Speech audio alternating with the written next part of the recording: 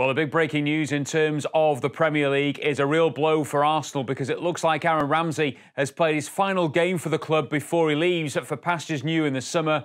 Ramsey, whose contract is due to expire at the end of June, has already agreed a pre-contract agreement with the Serie A champions Juventus, and he was looking to try and end his Arsenal career on a high note. But unfortunately, the hamstring injury which he picked up in the second leg of their Europa League clash with Napoli means that he will now miss the rest of the season, which means, of course, the double header in the Europa League semi-finals against Valencia as well as the final two games of the Premier League season. A double whammy for Arsenal, who are looking to make it to the top four and into the Europa League final in their attempts, of course, to qualify for next season's Champions League. The bigger problem, though, facing Unai Emery is after this season, because who does he replace?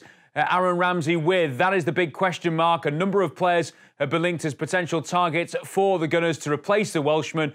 And there is a big task on their hands this summer at the Emirates if they're going to find not only a replacement for Ramsey, but also to strengthen their squad in the push for top four and maybe even a title bid next season. So a real major setback for Arsenal. Aaron Ramsey set to miss the remaining games of the season with a hamstring problem.